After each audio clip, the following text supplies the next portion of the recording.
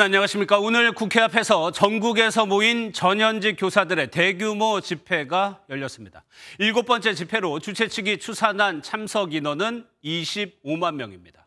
모레 숨진 서희초 교사의 49제를 맞아 참석자들은 검은 옷을 입었습니다. 그리고 교권 회복을 위한 법 개정과 진상 규명을 외쳤습니다.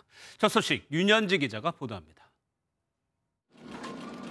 검은 옷차림의 사람들이 국화꽃을 차례차례 내려놓습니다. 피켓을 든 집회 참가자들이 국회의사당 앞 거리를 가득 메웠습니다.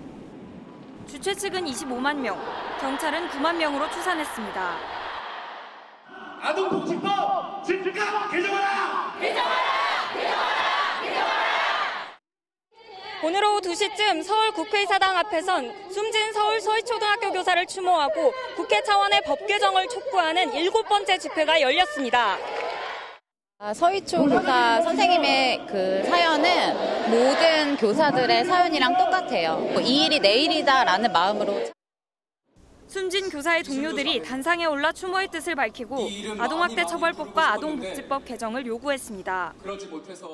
우리 친구들이 동료들이 안전하게 가르칠 수 있는 학교 환경을 만들기 위해 교육부와 교육청에서 앞장서 주십시오.